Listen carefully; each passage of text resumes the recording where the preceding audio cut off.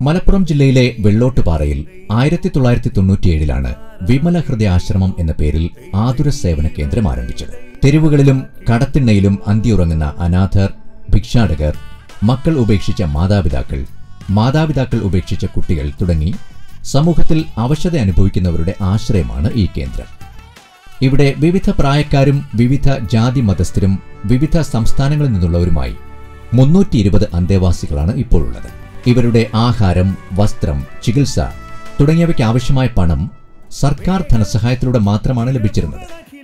എന്നാൽ സാങ്കേതിക കാരണങ്ങൾ പറഞ്ഞ് ആശ്രമത്തിന് ലഭിക്കേണ്ടിയിരുന്ന സർക്കാർ ഗ്രാന്റ് രണ്ടായിരത്തി ഒൻപത് മുതൽ തടഞ്ഞുവച്ചിരുന്നു നിരവധി ഓഫീസുകളിൽ പരാതികൾ നൽകിയിട്ടും ഫലമില്ലാത്തതിനെ തുടർന്നാണ് ആശ്രമം ഡയറക്ടർ സിസ്റ്റർ ജോസി സുതാര്യ കേരളത്തെ സമീപിക്കുന്നത്. ആയിരത്തി തൊള്ളായിരത്തി തൊണ്ണൂറ്റി ഏഴിൽ സ്ഥാപിച്ച ഈ സ്ഥാപനത്തിൽ നമുക്ക് രണ്ടായിരത്തി ഒന്നിൽ രജിസ്ട്രേഷൻ കിട്ടുകയും രണ്ടായിരത്തി മൂന്നിൽ ഗ്രാന്റിന് അനുവദിക്കുകയും ചെയ്തു.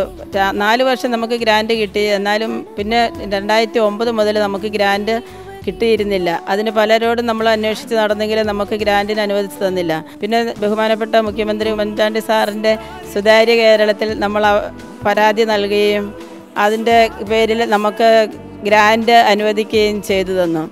അതിന് സുതാര്യ കേരളത്തിനും ഉമ്മൻചാണ്ടി സാറിനും ഒത്തിരി നന്ദി ഞങ്ങൾ രേഖപ്പെടുത്തുന്നു.